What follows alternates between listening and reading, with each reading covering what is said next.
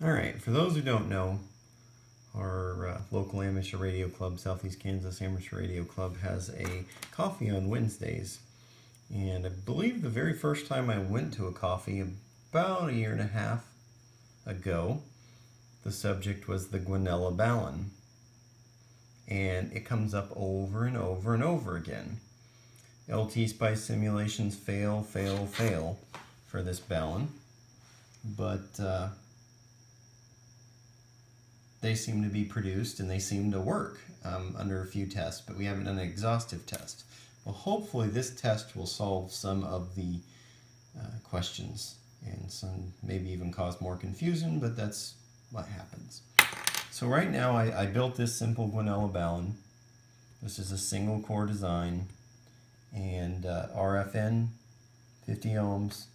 I've got a star ground point, at least an attempt at one. 220 ohm resistor that checks out about 210, pretty close. 1X probes. We've got a signal generator at 10 megahertz, and we have HP digital scope, 100 megahertz scope. And currently, at 10 megahertz, we are at 0.1 volts of division. 0.5 microseconds on the time scale. And we have a nice balanced, um, highly good signal integrity here, but exactly what you would hope to see. Again, that's at 10 megahertz. So what I'm going to do is I'm going to change frequency. We're going to go down in frequency now, slowly. That's the bottom of that range. That's 9 megahertz. Get this all the way up to the top here. Okay, that's 11 megahertz. And we're slowly going to come down. Now 6. We start to see some problems with the balance there around 4. And then things go completely out of whack around 2.5. But for a wide range,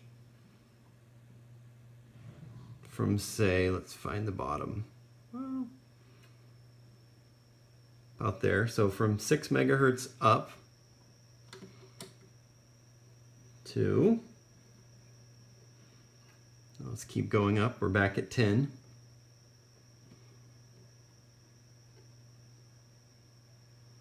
And we start having some integrity problems again at about 34. So, Balun, the Balun does work. Um, I think part of the problem here is uh,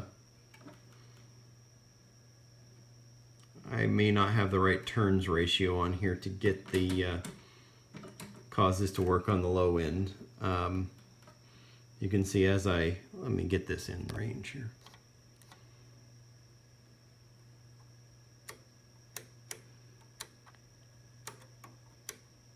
You can see here this is 1.5 megahertz, that the Balun is not working. I believe this is a type 61 core. So with eight turns, I don't think we've got enough reactance to make the device work. Um, I may have to try it with more. But when you get well within its working range, we have no problem. Everything comes alive. and everything looks nice. Get the scope back where it needs to go. So you can see there at 7 megahertz, it's working great. So I do think the Guanella Balun does work. My Balun is not working uh, nearly as good as this uh, store-bought one.